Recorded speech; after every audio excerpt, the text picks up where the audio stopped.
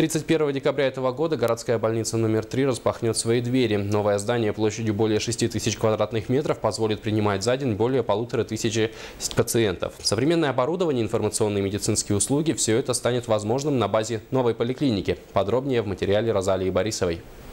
Строительную площадку сегодня доставлен груз особой важности. Части аппарата МРТ и УЗИ сегодня найдут свое место в здании строящейся поликлиники. 95% всего оборудования уже в Якутске ждет окончания отделочных работ. В тот же день начнется полная разгрузка и новейшая техника появится в новых кабинетах новой больницы. Сама поликлиника обещает стать одной из передовых в республике. Ну, кроме того, что что это здание будет полностью э, укомплектовано оборудованием для первичного звена.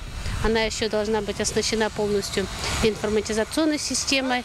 И вот это все предусмотрено в рамках тоже строительства данного здания. И мы планируем здесь тоже а, значит, э, ну, с нашей стороны, со стороны а, значит, врачебного персонала, медицинского персонала планируем ввести более такие дополнительные виды медицинских услуг, а, которые современные виды медицинских, информационных медицинских услуг, которые будут доступны для жителей нашего района.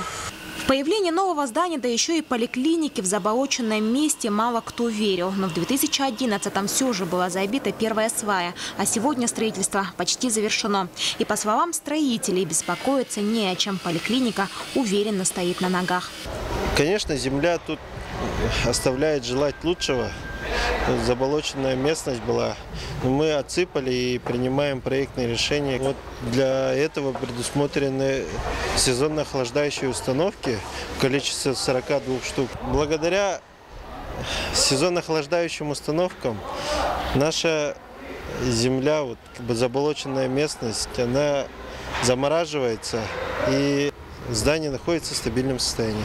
А пока продолжаются отделочные работы. Где-то серые стены обретают цвет, где-то на полу появляются первые плиты. Совсем скоро в окнах зажжется свет и из кранов потечет холодная и горячая вода. Розалия Борисова, Сергей Васильев, НВК «Саха», Якутск.